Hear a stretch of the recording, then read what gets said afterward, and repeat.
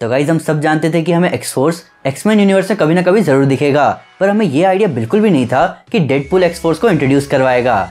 मुझे पता है कि आप में से कई लोग सोच रहे होंगे कि डेडपुल 2 का फाइनल ट्रेलर का ब्रेकडाउन कहाँ है, पर इस फाइनल ट्रेलर में हमें जितनी भी चीज़ें दिखी हैं, उनके बारे में मैं पिछले ट्रेलर ब्रेकडाउन में ऑलरेडी सब कुछ बता चुका हूँ। तो अभी हमें ध्यान देना चाहिए एक्सफोर्स ग्रुप पर और देखना चाहिए कि इस ग्रुप के मेंबर्स कौन कौन हैं। तो गाइज़ मैं हूँ अमन सिन्हा और आज हम बात करने वाले हैं डेडपुल 2 में दिखने वाले एक्सफोर्स और एक्समैन ग्रुप के बारे में। तो स्पॉयलर्स का ध्यान रखते हुए चलिए शुरू करते हैं। रिसेंटली आए डेडपुल 2 के फाइनल ट्रेलर में हमें फ़र्स्ट लुक मिला एक्सफोर्स के सारे कैरेक्टर्स का, पर कॉमिक्स में एक्सफोर्स को डेडपुल ने इंट्रोड्यूस नहीं किया था। कॉमिक्स में केबल ने एक्सफोर्स को इंट्रोड्यूस किया ताकि आने वाले खतरनाक फ्यूचर को चेंज कर सके। और डेडपुल 2 के ट्रेलर में मामला कुछ और ही लग रहा है। तो चलिए इस डेडपुल की बनाई एक्सफोर्स के बारे में और जानते हैं। सबसे पहले बात करते हैं खुद डेडपुल की।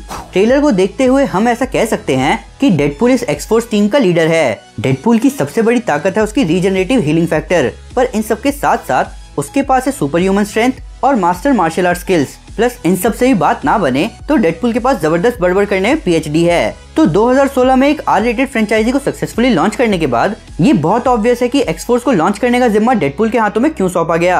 कॉमिक्स में डेडपुल कई टीम्स का मेंबर रह चुका है, जिसमें से एक्सफोर्स एक टीम है। पर उसका किसी टीम का लीडर होना, ये बहुत अजीब बात होगी। पर ये डेडपुल की मूवी है, और अजीब होना इस फ्रेंचाइजी का बस एक छोटा सा हिस्सा है। तो एक्सफोर्स का डेडपुल के द्वारा इंट्रोड्यूस कराना, ये एक पॉसिबल हिंट है कि हमें डेडपुल थ्री की जगह एक्सफोर्स मूवी दिखे। अब बात करते हैं केबल की। केबल का रोल प्ले कर रहा है थैनोस मेरा मतलब है कि थैनोस का रोल प्ले करने वाले जॉर्ज ब्रोलिन तो केबल बेशक इस ट्रेलर में एक्सफोर्स का पार्ट नहीं लग रहा। पर ये कहना सेफ़ है कि कभी ना कभी वो इस टीम का पार्ट ज़रूर होगा। केबल टेक्नो ऑर्गेनिक वायरस पीड़ित है, जिसके पास टेलीपैथिक और साइनिक पावर्स हैं। इन सब के साथ साथ केबल के पास एक साइबरनेटिक हाथ और साइबरनेटिक आँख है, जिससे वो फोर्स फ़ील्ड क्रिएट कर सकता है। आपको ये जानकर हैरानी होगी, पर केबल टाइम में ट्रेवल कर सकता है। उसकी स्ट्रेंथ लेवल टन्स में है और वो भी खुद को हील कर सकता है, पर डेडपुल जितना फास्ट नहीं। अब बात करते हैं डोमिनो की। अगर आप कॉमिक बुक फैंस हैं तो आप जानते ही होंगे कि एक्सफोर्स डोमिनो के बिना पॉसिबल है ही नहीं।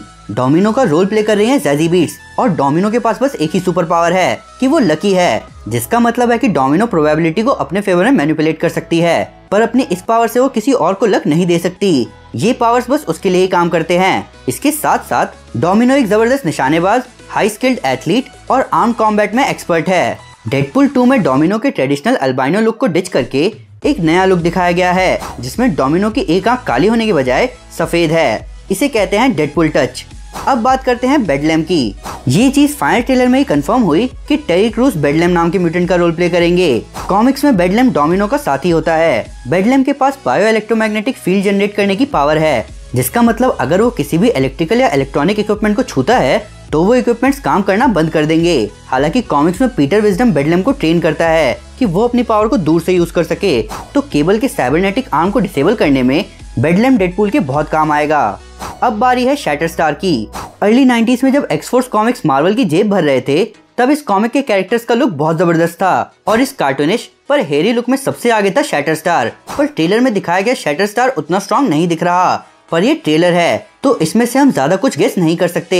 तो कॉमिक्स में शैटर स्टार के पास सुपर ह्यूमन लेवल की फ़िज़िकल और मेंटल पावर्स हैं। प्लस उसके बोन्स खोखले हैं, जिसकी वजह से वो जितना दिखता है, उससे ज़्यादा हल्का है। और इसी वजह से उसके एथलेटिक और एक्रोबेटिक स्किल्स और तेज हो जाते हैं। कॉमिक्स में शैटर स्टार के ओरिजिन में टाइम ट्रैवलिंग और अल्टरनेट डायमेंशन दोनों का इम्पोर्टेंट रोल है। पर हम मूवी में एक्सपेक्ट कर रहे हैं कि हमें ऐसा कुछ देखने को नहीं मिलेगा। अब बात करते हैं पीटर विजडम की। तो जब बात होती है म्यूटेंट्स की तो पीटर जैसा नाम दूर दूर तक सुनाई नहीं देता। और डेडपुल 2 के ट्रेलर में भी ऐसा ही दिखाया गया है कि पीटर के पास कोई पावर्स नहीं है। पर कॉमिक्स में पीटर विजडम एक ब्रिटिश सीक्रेट एजेंट होता है, जो कि म्यूटेंट्स और सुपर बींग्स पर नज़र रखता है। हालाँकि कॉमिक्स में पीटर खुद एक म्यूटेंट है, जो कि अपने हाथों से गर्म चाकू बना सकता है। पर इस मुच्छर कैरेक्टर से ये सब कोई दूर दूर तक एक्सपेक्ट नहीं कर सकता। तो ये तो थे एक्सफोर्स के कैरेक्टर्स अब हम बात करते हैं डेडपुल 2 में दिखने वाले एक्समेन कैरेक्टर्स की। सबसे पहले बात करते हैं नेगासोनिक टीनेज वॉरहेड की। तो नेगासोनिक टीनेज वॉरहेड फॉक्स को ईगो के बदले में मिली।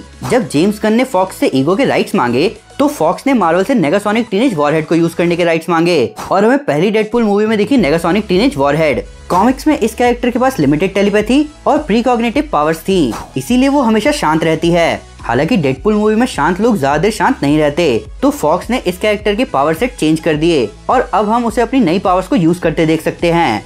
अब बारी है कॉलोसस की तो ये बहुत ही ऑब्वियस है कि कॉलोसस डेडपुल मूवी में एक्समैन को रिप्रेजेंट करता है, क्योंकि स्टूडियो के पास बाकी कैरेक्टर्स को दिखाने के पैसे नहीं हैं। कॉलोसस को हम जितना जानते हैं कॉलोसस उससे ज़्यादा पावरफुल है। अपनी बॉडी को ऑर्गेनिक स्टील में बदलने के अलावा कॉलोसस सुपर ह्यूमन स्ट्रेंथ और सुपर ह्यूमन स्टेमिना के साथ साथ एक्सट्रीम लेवल की ड्यूरेबिलिटी होल्ड करता है, जिसकी वजह से उसको नुकसान पहुंचाना नियरली इम्पॉसिबल है। हालाँकि अगर उसके आसपास वाइब्रेनियम या एडमेंटियम हो तो बात अलग है। प्लस अगले साल आने वाली मूवी द न्यू म्यूटेंट्स में दिखने वाली कैरेक्टर मैजिक कॉलोसस की बहन है। तो शायद इस मूवी में इस बारे में कुछ बात हो। लास्ट में बात करते हैं सर्ज की।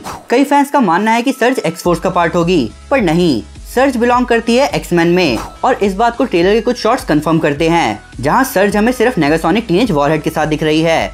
सर्ज इलेक्ट्रिसिटी को एब्जॉर्ब करके उसे चैनल कर सकती है स्पीड या ऑफेंसिव मूव्स में, जैसा कि हमें ट्रेलर में दिखा। इसके साथ साथ कुछ पावर गाउंटलेट्स की मदद से सर्ज इलेक्ट्रिसिटी को डायरेक्टली डिस्चार्ज कर सकती है। तो ये तो थी डेडपुल में दिखने वाली टीम्स की बात। अभी रिसेंटली खबर ये भी आई है कि डेडपुल की हिंदी डबिंग रणवीर सिंह कर रहे हैं, जिससे कई फैंस निराश हैं और कुछ लोग खुश। मेरा इस बारे में यही कहना है कि सिर्फ़ ट्रेलर देख के हम मूवी को जज नहीं कर सकते तो हमें पहले मूवी देखनी होगी, फिर हमें पता चलेगा कि रणवीर सिंह ने ज़बरदस्त डबिंग करी है या नहीं। हालाँकि पहले भी कुछ Bollywood actor super hero movie की डबिंग कर चुके हैं, पर छोटे मोटे पॉइंट्स को छोड़ के ओवरऑल फैंस को इस बात से ज़्यादा फ़र्क नहीं पड़ा है तो हमें डबिंग की उतनी चिंता करने की ज़रूरत नहीं है। तो गाइज़ ये थी वीडियो डेडपुल टू में दिखने वाले सारे कैरेक्टर्स के बारे में। हालाँकि अभी हमें कोई आइडिया नहीं है कि जूलियन डेनिसन और बिल स्कार्सगार्ड कौन से म्यूटेंट का रोल प्ले कर रहे हैं। इसीलिए हमने उनके कैरेक्टर्स के बारे में कोई बात नहीं करी। पर फिर भी अगर उनसे कोई डिटेल मिस हो गई हो, या कि कोई नया फैक्ट है इस मूवी से रिलेटेड तो प्लीज़ मेरे कमेंट में ज़रूर बताएँ। साथ ही साथ मुझे ये बताएँ कि आपके हिसाब से केवल इस मूवी का विलन है, या असली विलन कोई बड़ा खिलाड़ी है? ऊपर से लेटेस्ट सुपर न्यूज़ और ऑसम सुपर फैक्ट्स के लिए हमें फेसबुक ट्विटर इंस्टाग्राम और गूगल पे से फॉलो करना ना भूलें। हम हर जगह हैं। तो गाइज़ अगर आप डेडपुल के बारे में और जानना चाहते हैं तो मैं आपको हमारी Deadpool Kills the Marvel Universe comic series recommend करूँगा। साथ ही साथ, अगर आपको ये वीडियो पसंद आए तो इस वीडियो को लाइक और शेयर ज़रूर करें और ऐसे कई सारे सुपर कंटेंट के लिए हमारे चैनल को सब्सक्राइब करना ना भूलें। Thank you guys this is Aman Sinha and you are super super peace